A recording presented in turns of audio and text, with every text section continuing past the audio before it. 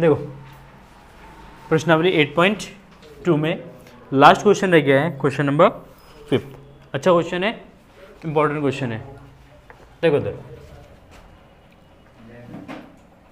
Question number fifth समाकलन का उपयोग करते हुए ऐसे त्रिकोणीय क्षेत्र का क्षेत्रफल ज्ञात कीजिए, जिसकी भुजाओं के समीकरण y बराबर two x plus one y बराबर थ्री एक्स प्लस वन और x बराबर फोर है। ठीक ना? तीन समीकरण दे रखा है। मतलब तीन रेखाएँ दिया हुआ है। ठीक? एक दे रखा है y बराबर टू एक्स प्लस वन दूसरा दे रखा है y बराबर थ्री एक्स प्लस वन और तीसरा दे रखा है x बराबर फोर तीन रेखा दे रखा है। कह रहे कि इसके द्वारा घिरा हुआ जो क्षेत्र का क्षेत्रफल है, उसको तो हमें क्या करना है? कैलकुलेट करना है।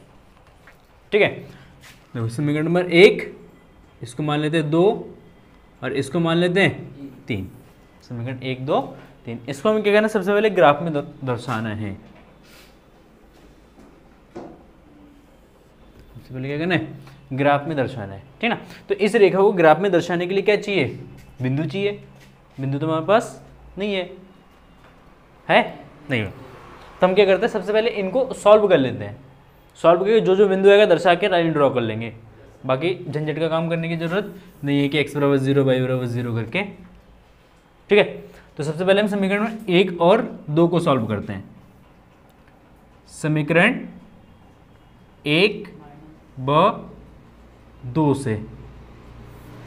समीकरण एक और दो से, देखो। y बराबर इतना है, y बराबर इतना है। दोनों को आपस में क्या कर देते हैं?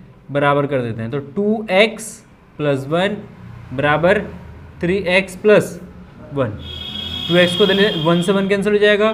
थ्री एक्स में से टू एक्स घटेगा, कितना बचेगा? एक्स। तो एक्स बराबर ज़ीरो आ जाएगा। जब एक्स बराबर ज़ीरो, एक्स का मान समीकरण नंबर एक या दो किसी में भी रख देना। वाई बराबर कितना जाएगा? वन। एक या दो किसी में भी रख दोगे, कितना आएगा?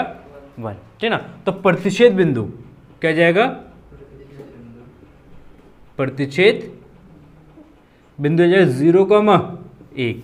मतलब ये दोनों रेखा जब जहाँ पे प्रतिच्छेद करेंगे, वो बिंदु क्या होगा? एक कॉमा सॉरी ज़ीरो कॉमा एक। क्लियर समीकरण नंबर एक ब तीन से। समीकरण एक और तीन को सॉल्व कर लो। देखो, क्या आएगा? एक्स बराबर फोर है फोर रख दो तो y बराबर कितना जाएगा? दो गुणा चार प्लस एक, क्योंकि x बराबर कितना है? चार। यहाँ पे भी x का मान कितना रख दो? चार। कितना जाएगा? चार दो ना आठ और एक, नौ। तो y बराबर हो जाएगा नौ। बिंदु हो गया प्रतिशत बिंदु। चार कौमा नौ। समीकरण एक सॉरी दो ब तीन से। समीकरण दो और तीन को सॉल्व करो। देखो, दो बाई बराबर थ्री एक्स प्लस वन है। एक्स की जगह कितना रख दो? फोर तो वाई बराबर हो जाएगा तीन गुणा चार प्लस एक। चार बारह और एक। तेरह। तो वाई बराबर कितना जाएगा? तेरह। तो प्रतिशत बिंदु हो गया। प्रतिशत बिंदु हो गया चार कौमा तेरह। अब दशा दो अब लाइन ड्रॉ कर लो। देखो, एक रेखा, एक बिंदु है ज़ीरो कमा एक मतलब एक्स एक्स पे ज़ीरो बाई एक्स पे वन तो यहाँ पे ले लो। ये हो गया ज़ीरो कमा वन। ठीक? अच्छा नेक्स्ट दूसरा है चार कमा नौ। यहाँ पे ले लो चार कमा नौ, या यहाँ पे ले लो। है? थोड़ा सा बड़ा बन जाएगा ना डायग्राम चार कमा नौ। अच्छा एक रेखा है हमारा सर एक बिंदु है चार कौमा तेरह। इसी पे आएगा, सीधे पे, यहाँ पे जाएगा, चार कौमा तेरह। ठीक है? नहीं, सही है। ये तीन बिंदु हो गया। एक तो इन दोनों बिंदु से पास होगा सीधी रेखा।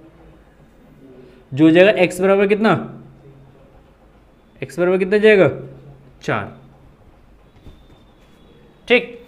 एक रेखा पास होगा इन दोनों से, इस तरीके से।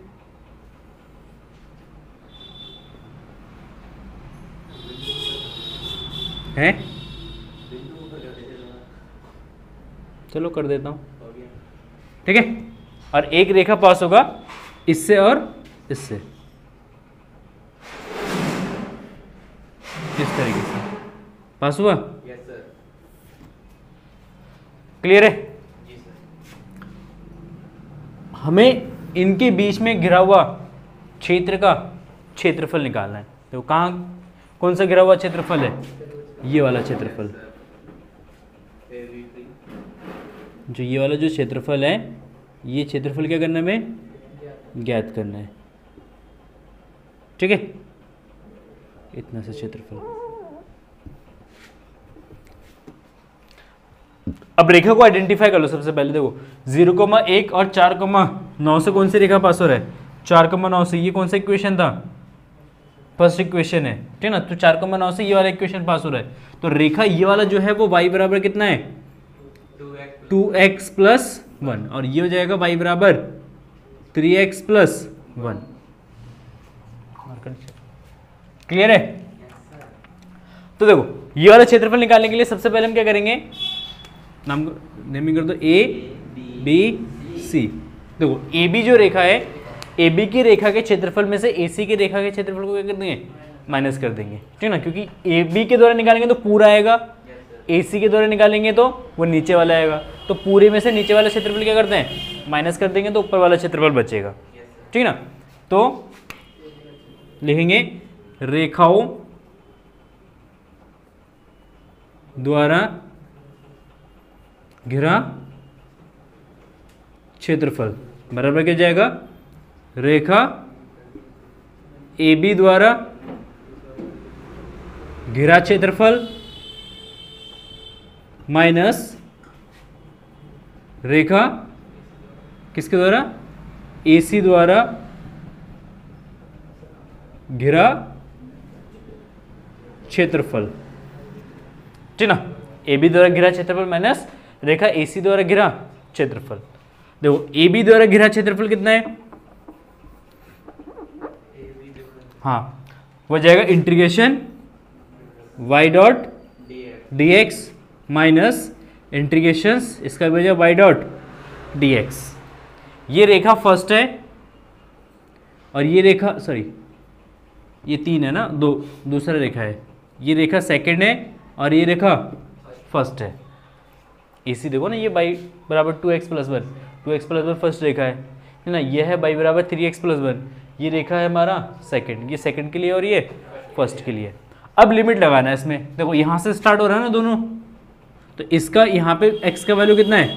ज़ीरो तो दोनों स्टार्ट होगा ज़ीरो से ठीक ना ये वाला जो है, वो कहाँ तक जा रहा है? चार तक। और ये भी कहाँ तक जा रहे हैं? चार तक। तो ज़ीरो से चार, इसका भी लिमिट हो जाएगा, इसका भी ज़ीरो से चार लिमिट हो जाएगा। तो देखो इंटीग्रेशन ज़ीरो से चार। वाई का वैल्यू समीकरण नंबर दूसरे से three x plus one d x minus ये वैल्यू वाई का वैल्यू समीकरण नंबर एक से। तो two x plus one d x zero से चार। क्लियर है? इंटीग्रेट कर दो इसको। देखो थ्री तो कांस्टेंट है। ये एक्स स्क्वायर बटे दो और वन का हो जाएगा? एक्स इस को अंदर ले लेना। तो ये जाएगा हमारा फोर से zero minus two x square बटे दो प्लस एक्स चार से ज़ीरो। दो से दो। कैंसिल हो जाएगा? लिमिट रख दो। ज़ीरो रखेंगे तो ज़ीरो ही आएगा तो रखने की ज़रूरत नहीं है। ओनली एक्स बराबर कितना रख देते हैं? चार रख देते हैं। तो यह तीन बटे दो गुणा चार का स्क्वायर प्लस चार माइनस चार का स्क्वायर माइनस चार। क्योंकि माइनस है, अंदर मल्टीप्लाई कर देंगे तो क्या जाएगा? दोनों माइनस का हो जाएगा। चार से चार कैंसिल हो जाएगा। ठीक है ना? तो कितना बचेगा ये? देखो, तीन बटे दो गुणा सोलह माइनस सोलह। इससे सौ काट दो, कितना आएगा? आठ। आठ। या चौबीस। माइनस सोलह तो कितना आएगा? आठ। वर्ग? इकाई ये हो जाएगा इसका आंसर। ठीक है ना? और इसी के साथ exercise eight point two finish दो दिन में विविध फिनिश हो जाएगा। हैं?